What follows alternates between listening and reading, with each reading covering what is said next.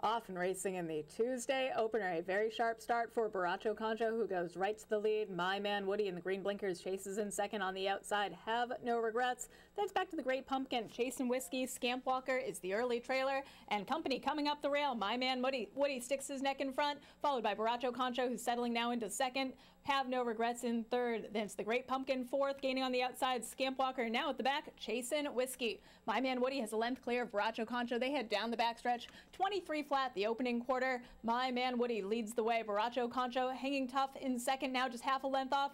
That's the Great Pumpkin Scamp Walker in between horses. Have no regrets. Those three across the track and way at the back, chasing Whiskey. They go through the far turn, and it is still my man Woody. Borracho Concho continues to press, but losing some ground. The Great Pumpkin under a drive. Have no regrets being asked for a little bit more. Scamp Walker as well. They go through the far turn, 46 and 1 for the half, and my man Woody trying to give them the slip. Giordano Tanan peeks under his shoulder for competition. My man Woody being asked for a little bit more, and he is responding. Borracho Concho all out, chasing Whiskey coming up the rail, but it's too little too late to reel in my man Woody, who has a 16th left to go.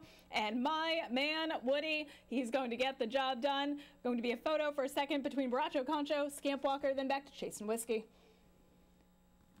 Final time 113 flat. Hold all tickets until race one is official.